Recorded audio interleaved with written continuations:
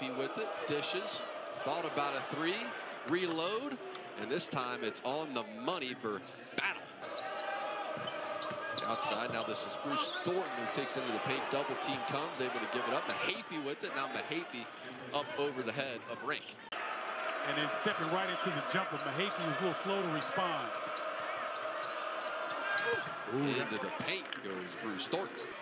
Know, Jack, Ahron Ulis is not allowed to play right now with Nebraska.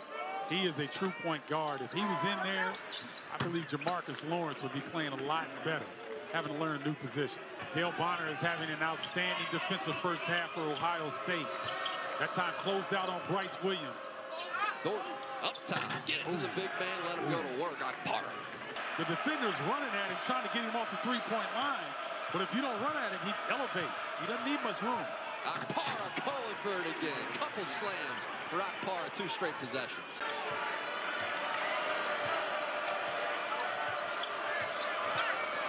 Thornton, their best scorer, gets into the paint and gets the bucket you were just asking for.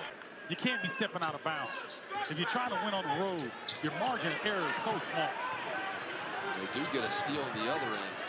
That was Thornton who got a hand in the pass lane. And now Thornton defense turns the offense, foul, and hits the shot by Bruce Thornton. You called it, Jack. The pacing of which Ohio State initiated this possession was really good. And you saw Nebraska was on their heels the whole time, trying to close out on Thornton. And he gets a clean, quality look. To set it up with 15 on the shot clock. Back to Thornton. Thornton kicks it. A reset on the shot, and Battle puts one right down the middle. He drops it off for Bruce Thornton.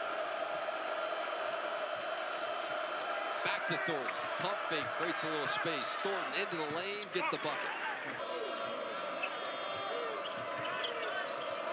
There's Thornton, Okpara up to set a screen. Lob to the rim, and beautiful pass to get that ball inside to Roddy Gayle Jr.